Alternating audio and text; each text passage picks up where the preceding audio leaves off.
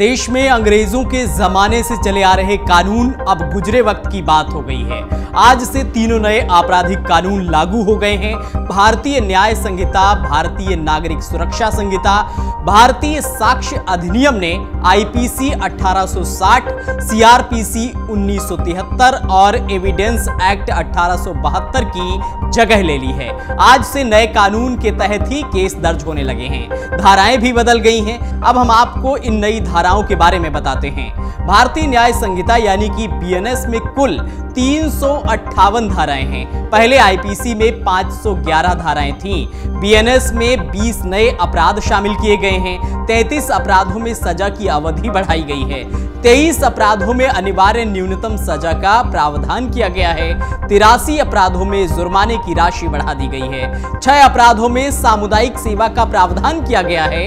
अधिनियम में 19 धाराएँ निरस्त या हटा दी गई हैं। आठ नई धाराएँ जोड़ी गई हैं। 22 धाराओं को निरस्त कर दिया गया है।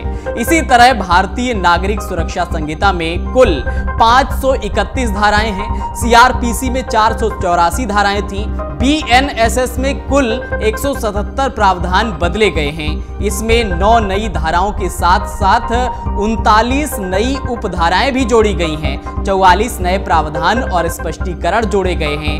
35 सेक्शन में समय सीमा जोड़ी गई है और 35 सेक्शन पर ऑडियो वीडियो प्रावधान जोड़ा गया है। कुल 14 धाराएँ निरस्त और हटा दी गई हैं।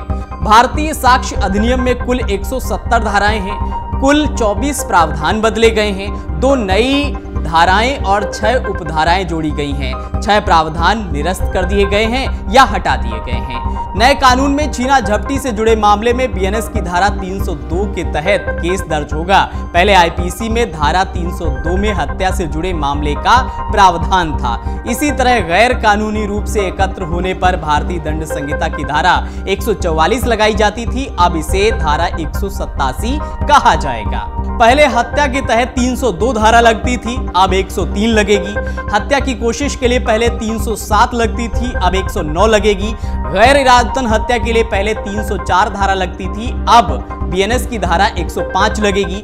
लापरवाही से मौत के लिए पहले 304 ए थी, अब 106 कर दी गई है। रेप और गैंगरेप के लिए पहले 375 376 धारा लगती थी। अब तिरसठ, चौसठ और 70 लगेगी। देश के खिलाफ युद्ध जैसे केस में पहले 121 121 ए धारा लगती थी। अब बीएनएस की धारा एक और 148 लगेगी। मानहानि के लिए पहले आईपीसी की धारा 499 और 500 थी। अब बीएनएस की धारा तीन सौ छप्पन लगेगी। छेड़छाड़ के लिए पहले तीन सौ चौवन धारा लगती थी, अब चौहत्तर लगेगी। दहेज हत्या के लिए पहले 304 बी धारा लगती थी, अब 80 लगेगी। दहेज प्रताड़ना के लिए पहले आईपीसी की धारा चार सौ अट्ठानबे ए थी अब बीएनएस की धारा पचासी हो गई है। चोरी के लिए पहले तीन धारा लगती थी, अब 303 लगेगी। लूट के लिए पहले तीन धारा लगती थी, अब 309 लगेगी। डकैती के लिए पहले आईपीसी की धारा तीन थी, अब बीएनएस की धारा 310 हो गई है।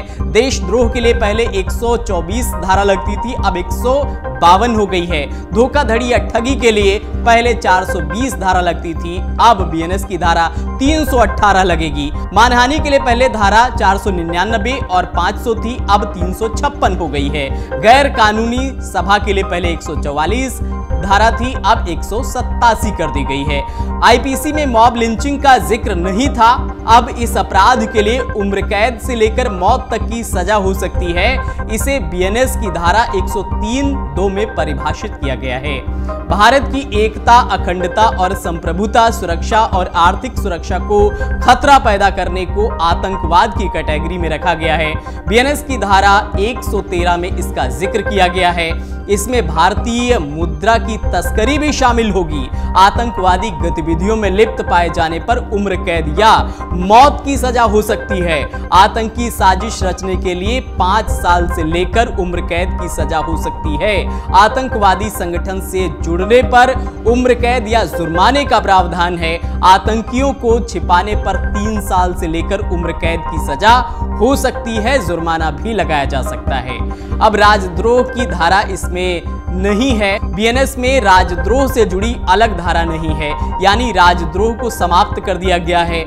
नए कानून में राजद्रोह को एक नया शब्द देशद्रोह मिला है। आईपीसी की धारा 124 ए में राजद्रोह का कानून है। नए कानून में देश की संप्रभुता को चुनौती देने और अखंडता पर हमला करने या खतरा पहुँचाने वाले कृत्यों को देशद्रोह में शामिल किया गया है। देशद्रोह से जुड़े मामलों को धारा एक सौ तक परिभाषित किया गया है। धारा एक में कहा गया है कि देश के खिलाफ युद्ध छेड़ने के दोषी पाए जाने पर फांसी या उम्र कैद की सजा होगी। धारा 148 में इस तरह की साजिश करने वालों को उम्र कैद और हथियार इकट्ठा करने या युद्ध की तैयारी करने वालों के खिलाफ धारा एक लगाने का प्रावधान है। धारा एक में कहा गया है कि अगर कोई जानबूझकर, लिखकर या बोलकर या संकेतों से या इलेक्ट्रॉनिक माध्यमों से प्रदर्शन करके ऐसी हरकत करता है जिससे विद्रोह फूट सकता हो, देश की एकता को खतरा हो या अलगाव और भेदभाव को बढ़ावा देता हो तो ऐसे मामले में दोषी पाए जाने पर अपराधी को उम्र कैद या फिर सात साल की सजा का प्रावधान किया गया है। अगर आप ये वीडियो YouTube पर देख रहे हैं तो हमारे चैनल को सब्सक्राइब करें और बेल आइकन को दबाना ना भूलें। अगर आप Facebook पर यह वीडियो देख रहे हैं तो हमारे पेज को लाइक करें।